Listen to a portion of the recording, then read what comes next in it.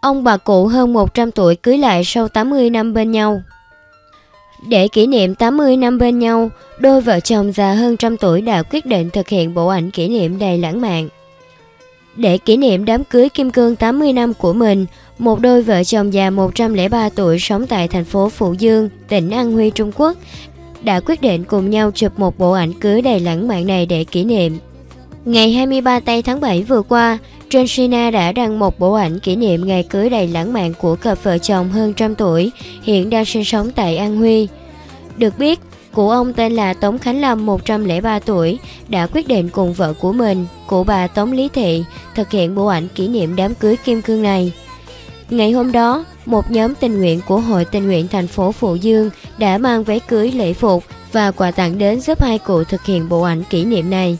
Cụ ông cho biết, suốt 80 năm chung sống cùng nhau, từ khi còn trẻ đến khi lưng còng tóc bạc, vợ chồng ông vẫn luôn tay trong tay tương thân tương ái. Tuy đã có với nhau bốn mặt con, hiện các con cũng đang chung sống cùng nhà với hai cụ.